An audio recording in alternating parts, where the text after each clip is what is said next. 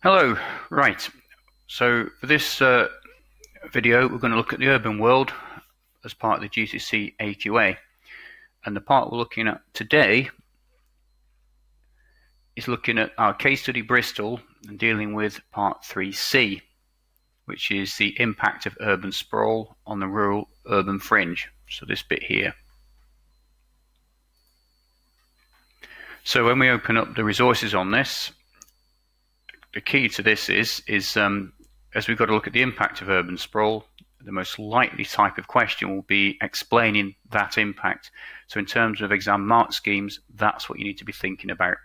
So to get level two, you need a developed explanation, or in other words, be able to name a couple of the impacts at the minimum and be able to clearly explain why they are impacts and explain the link between what the point you're making and how it is and creates an impact. And this is mainly negative. So the impact of urban sprawl on the rural urban fringe and the growth of commuter settlements. So we'll deal with urban sprawl first on the rural urban fringe. So the first thing we need to be clear on is what urban sprawl is and then also what the rural urban fringe is.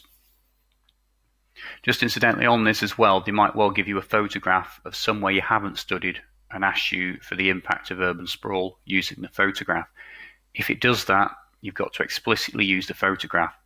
State things like in the bottom left hand corner of the photograph, I can see the impact would be, and so on. so, urban sprawl, like it says there, the uncontrolled growth of towns and cities encroaching on the rural greenfield sites. Now, if you remember, a greenfield site is an area which has never been built on before. So we're really talking about farms, fields, and so on, as opposed to a brownfield site which has been used before and it's repurposed. So that might be a little bit like um, taking a, a, an old hospital and converting it into flats. So you're reusing a building. Sometimes you may knock the building down and rebuild. You should have already looked at by this point the good and the bad of using these two. Generally, the brownfield sites avoid as building on uh, rural areas and the greenfield sites. But unfortunately, the brownfield sites are limited, and they've also, in terms of the number of them in most cities, but also you've got problems with the um, you haven't got enough of them. Particularly in Bristol, there is not enough brownfield sites to fulfil all the housing needs, which is forcing us onto um, greenfield sites and hence urban sprawl, which is this growth of towns and cities. And just another definition so we're clear about this because it's on the spec, the rural urban fringe. So like it says there, that's essentially the edge of an urban area where you're starting to change into the countryside or the rural areas. So you tend to get kind of a mix of urban and rural land uses from stables to the odd house, and the further out the city you go, the more rural it becomes. All right, to begin with, there's a starter question here, and it's really important you read this because it sets the scene for Bristol. Because in any question within the case study, you always have to be specific to this actual case study. In this case, is Bristol. So all your answers, if it asks for a case study or using a case study, you've got to directly refer to Bristol. Your answer cannot be about any city. It can't be too general. So one of the key problems in Bristol is a housing shortage. But these articles um, give you some figures on that and tell you a little bit more about Bristol itself, because these are specifically about Bristol. So this is a think tank, a set of experts thinking through some of the problems of uh, the Greenbelt in Bristol. And by, they've calculated that they think about 4,300 houses could be built on brownfield sites, but they want to build 85,000 homes over the next 20 years. So clearly there's a huge gap so what it's claiming here is the only option is, is to build on the greenfield sites. But you know that has lots of disadvantages and will cause urban sprawl. And that's the background to Bristol. They need more houses than the brownfield sites can offer. So they're going to need to build on the countryside around them. So I would have a read at that and later on think about whether you agree with those, but also you could grab some of those figures from these articles to explain your points later. So going back to this, if we're going to explain the impact, a really good starting point is uh, looking at page 181 of your textbook. So if we just go to the Oxford textbook on page 181, we've got a little bit here, just uh, see if I can circle it. No, I can't. Here where the mouse pointer is, looking at um, how this is about commuter settlements and a little bit further down how we've got a housing shortage and then it looks at um, Bradley Stoke and actually having to build on the green belt. So all this area on the map here is either green belt or green field. Obviously we've got a motorway running through it. And this is the areas where the, um, the urban sprawl is occurring.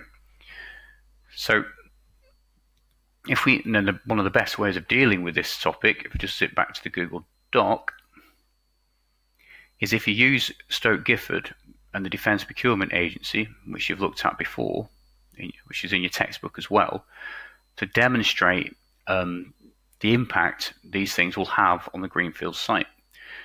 And you could largely base it on these bullet points here. So if, you, we're just reading through this, the basic idea is that um, they're going to build, like it says there, include uh, build a new town called Bradley Stoke.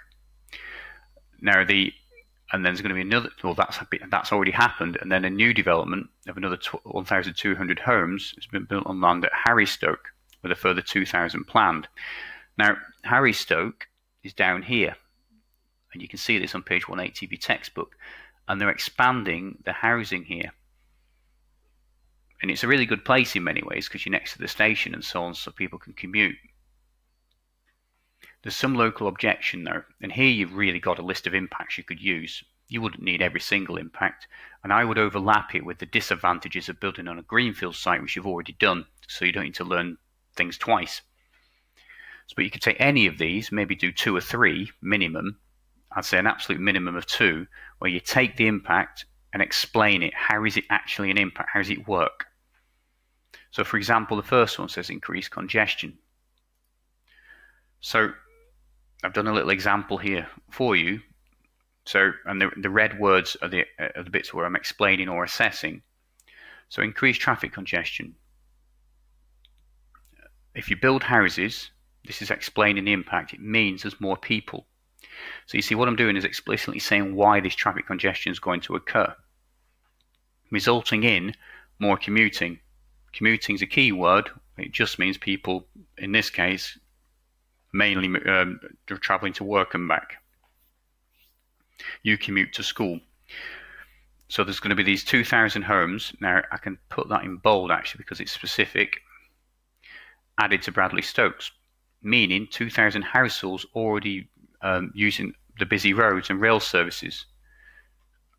And this is assessing at the same time a particular severe impact is the air pollution that affects health Air pollution has been in the news a lot recently, and it's something which governments are trying to deal with because most of our cities are above what the EU would have put down as, as um, safe. Things like nitrogen oxides.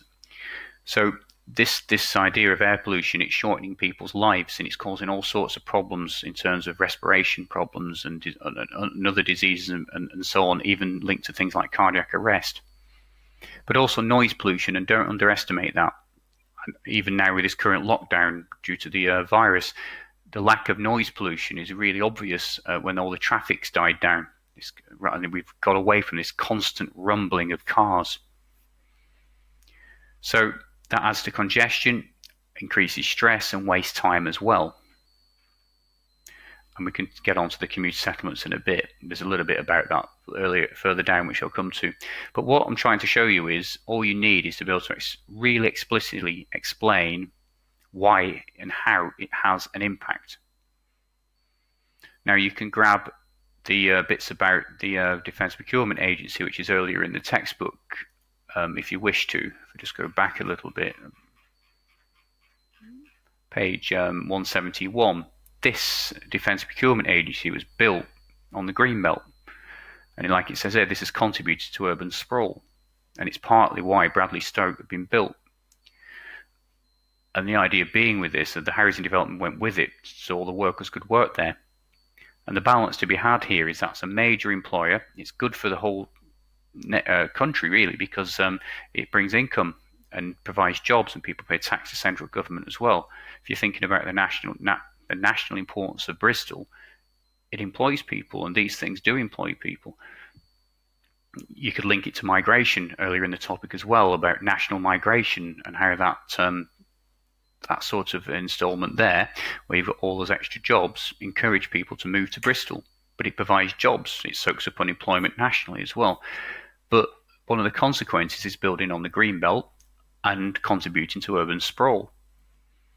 So how I would do this is to have at least one more, but probably have two small little paragraphs using, uh, let's get the right bit, using those bullet points we were looking at earlier, these, so impact on ecology, loss of open space, impact on community services and so on, use any of those. You could tie it to flood risk and lag times like you've done before. More concrete surfaces means a shorter lag time and a peak discharge.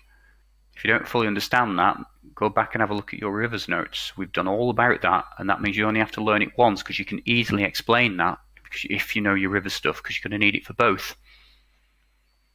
So if you end up with two or three key ideas, but the trick is to directly explain how whichever one you're doing actually causes an impact, like we've done here, then you're done.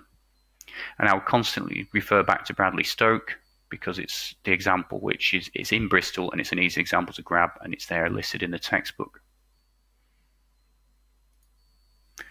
Right. Just moving on, linked to this, if we just go back to the title, we've also got the growth of commuter settlements, and this is a very similar idea. You can nearly use the same point because these also cause traffic congestion. So commuter settlements is a place where people live and travel, but and travel el el from elsewhere for work. So they, they live one place and they travel to work. I need to correct that slightly. So you live in one place, like a village outside a city, then you travel into work. So the idea being with this is you've just got to look at the impact that's going to have. Now, in the textbook on page 180, it talks about um, Wotton. So, if, just in this paragraph here, because Bristol's importance as a regional centre, again, that goes back to the, if you go back to your content sheet, the very first thing you did on Bristol, the importance of city, the city in the UK. Well, it's saying here Bristol's importance as a regional centre means that many people travel from the surrounding areas. So people are travelling to Bristol for work. So you've got towns uh, south of the city such as Wotton under Edge and Clevedon and so on. So if we look at where those places are, this is Wotton and this is Bristol. So if you look at the, the, the picture here, you can see it's a lovely little countryside um, area, little little village or town, which is a little market town but people like living in places like that because they get all the countryside and all the um, advantages of the open space and the clean air, but a well paid job in Bristol, which is over here. So all we really need to do is then think about the impacts that might have. So if we think about traffic congestion again, you could nearly even name the roads if you now you can see the geography of this. But um, if you were just even to look at some of these roads, if I um, just grab the uh, Google Street View and put it on there, these roads, if there's enough people travelling into Bristol in rush hour, are going to get really congested. And then also it will add to traffic on the M5, or they may take different routes in down along the minor roads, but either way, it's going to add to congestion. So it might make it really straightforward this that you've already done one on traffic here for urban sprawl. But equally, if you mention a named little town like Wotton under Edge, and you could talk about how the extra traffic put on the roads, and then you could mention the M5 or whichever roads you want, or just say where Wotton is, and then talk about air pollution and so on. If you want as well, you might want to look at this is a little video here. It's only a small thing, but it shows you how overcrowded the trains are in Bristol. So the more commuters we've got, the busier the trains get. get. so if you can give two or three good impacts of the growth of commuter settlements, there's a list here you could to start you off. then um, you've done it, but you can overlap it with what you've already got. So by the end of this, you'll have quite similar points probably on the impact of urban sprawl on the rural urban fringe, so the impact it's having on those areas, and the impact the growth of commuter settlements are having. So the the commuter settlements and urban sprawl, which are very similar, except for the commuter settlements are small towns which are further out, and then the urban sprawl is a city growing outwards into the rural areas. But they both use the countryside, they both threaten the ecology, they both threaten air pollution, and so on. So there's a lot of overlaps. So you could hopefully for Bristol be able to just explain the impact of both of those, probably use very similar points, just have a few place names. So for rural urban fringe, you might have Bradley Stoke, and then for the commuter settlements, you might mention Wotton under Edge, and the rest of it is fairly straightforward then. So by the end of this, as long as you can give two impacts of each, and name with something named within it, some of the figures that are given on the Google Docs, then you're done. Thank you.